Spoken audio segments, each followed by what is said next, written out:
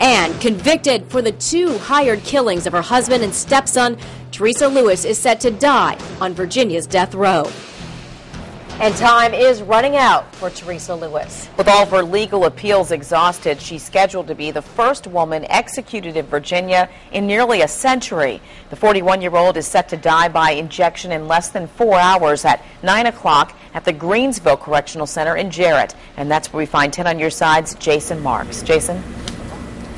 Well, Nicole, this was a brutal murder in 2002, one that featured murder for hire, trading sex for the killing of family members. Now, as you mentioned, Teresa is out of options tonight. This execution has gained attention from all over the world. Even earlier this week, the leader from Iran asking local lawmakers to stay this execution, but so far, no one has stepped in.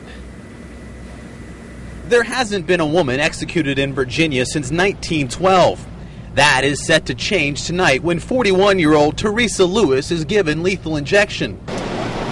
Media from all over the state is here at the Greensville Correctional Center in Jarratt. Both the U.S. Supreme Court and Governor Bob McDonnell have decided not to step in and stop the execution. On the Save Teresa Lewis website, she sings her favorite song, I Need a Miracle. In this case, it'll have to be a last second miracle. Lewis received the death penalty after hiring two men to kill her husband and stepson in 2002 in Pittsylvania County. She was hoping to cash in on her son's life insurance policy.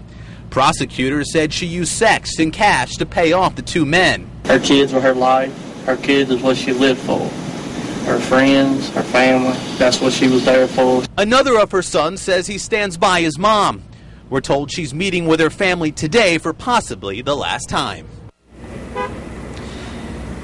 And we're told Lewis met with her spiritual advisor earlier this afternoon. She will then meet with her family along with her attorneys. Now, she has made her request for her last meal. She asked for fried chicken and a Dr. Pepper.